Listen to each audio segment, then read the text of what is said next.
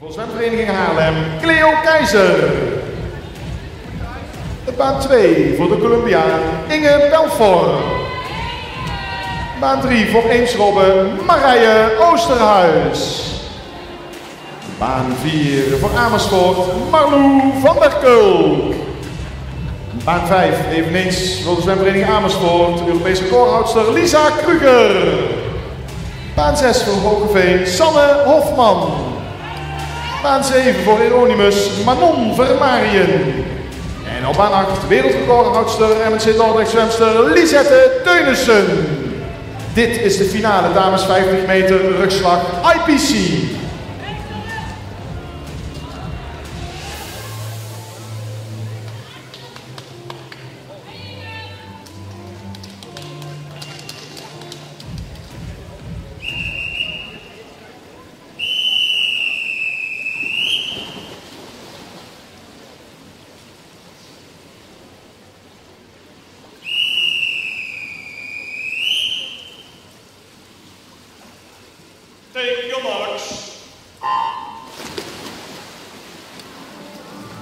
50 meter rugslag IPC en vanmorgen ook Marlou van der Kulk. Ze verbeterde haar eigen wereldrecord en zwemt nu in baan nummer 4. 100ste was ze sneller dan de vorige mondiale toptijd. En hier dus weer aan de leiding in deze 50 meter rugslag. Tweede positie voor baan nummer 5 Lisa Kruger en de derde positie in baan nummer 3 Marijn Ooster, Marije Oosterhuis. Maar het is hier van der Kulk weer die aan de leiding gaat. We kijken naar dat aantikken en dat wordt 31 95. Tweede tijd is er voor Lisa Kruger, 32, 85. En de derde tijd is er voor Marije Oosterhuis, 33, 18.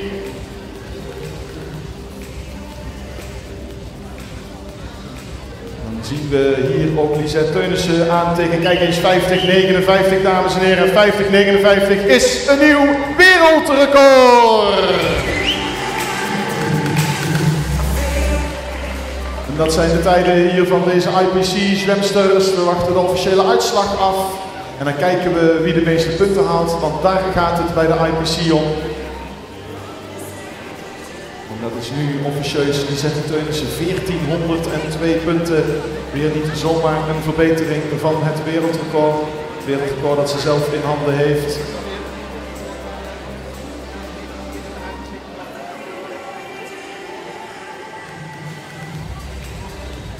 Ze wachten op de officiële uitslag. We zien overleg bij de tijdwaarnemers.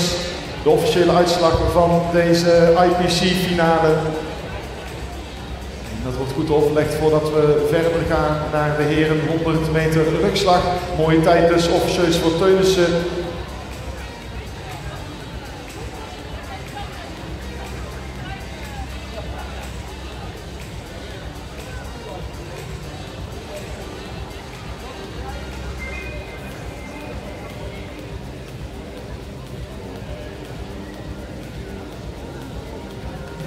Maar THB-RS is er weer in geslaagd om een mooi toernooi te organiseren hier in Tilburg.